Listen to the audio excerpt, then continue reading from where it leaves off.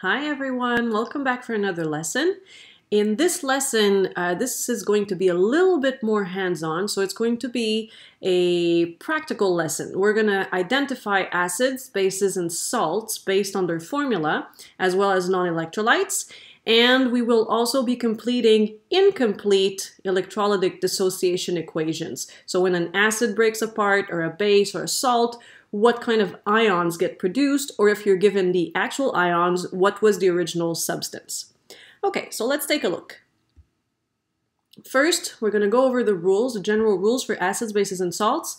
So for acids, generally the formula starts with an H. It could be that it also ends with COOH. If you now for the bases, we have the end of the formula, it ends with OH. It's important that the beginning of it be basically a cation. So normally it's going to be a metal.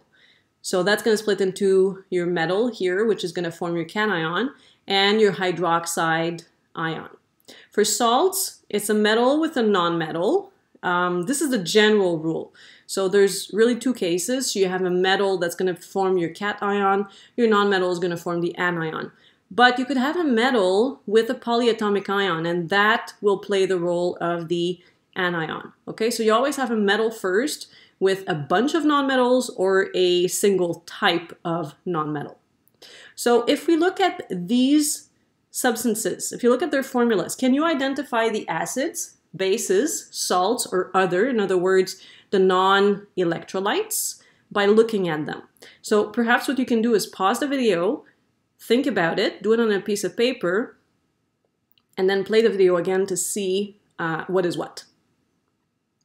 So looking at the first one, we have HBr. We said if something starts with an H, it's an acid.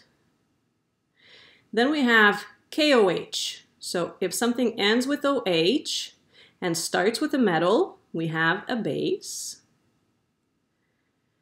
Next we have metal, non-metal. So that would be a salt. Here we have something that ends with OH, but it is not starting with a metal. So this is an other or a non-electrolyte. Okay, so this is not a base. It's not starting with a metal. Here we have metal with a polyatomic ion, so a bunch of nonmetals. So this would be a salt.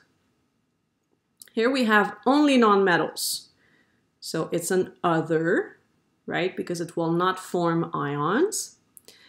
Here we have something that starts with an H, or three H's, I should say. So in this case, we have an acid.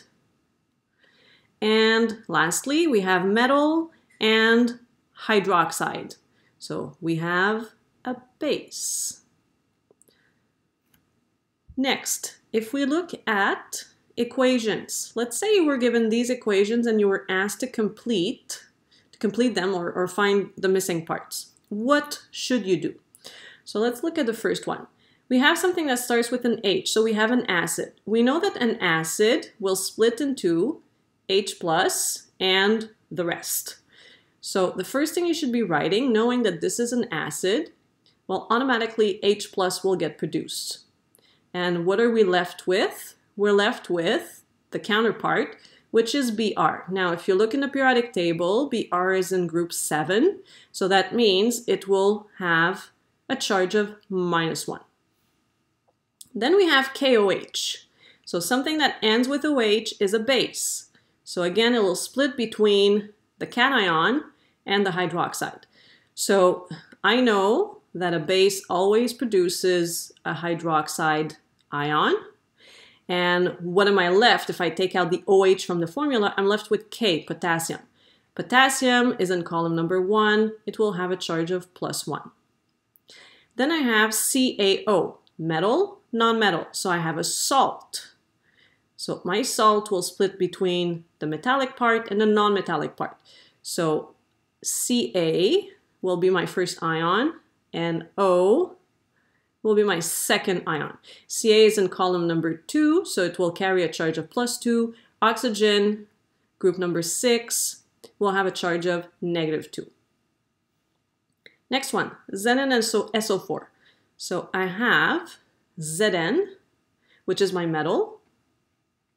And I have SO4, which is my polyatomic ion. Now you need to remember what the charges are for these polyatomic ions. So SO4 carries a charge of negative 2. Now zinc, because it's a transition metal, we don't exactly know what charge it's carrying. We cannot look at the number at the top of the column to figure out what the charge is. It's a special case. So what you have to do is do a little math. So if this is minus 2, automatically zinc has to be plus 2 because they need to cancel out each other since the original formula or the, the original molecule is neutral. Okay, what if we have to go backwards? So I have to recombine this with this. So I'm going to get BeOH.